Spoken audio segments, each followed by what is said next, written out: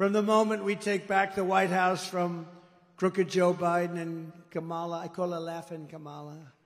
You ever watch her laugh? She's crazy. You know, you can tell a lot by a laugh. No, she's crazy. She's nuts. She's not as crazy as Nancy Pelosi, crazy Nancy.